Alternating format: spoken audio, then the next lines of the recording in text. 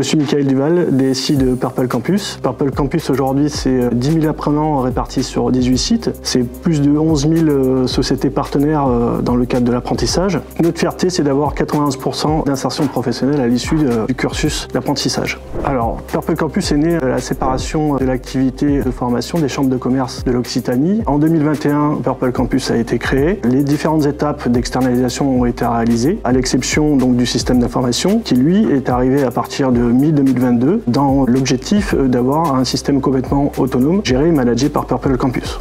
Je pense que chaque euh, carve-out est différent et avec un contexte qui lui est propre. Donc en termes de recommandations, je vais dire par rapport à mon expérience, mais c'est déjà d'avoir un état des lieux précis de ce qu'on a récupéré. Ensuite, d'essayer de monter une équipe euh, projet pluridisciplinaire qui permet de nous accompagner tout au long euh, de ce projet. Et pour finir, essayer de minimiser au maximum les impacts utilisateurs en prévoyant les évolutions dans un second temps du projet.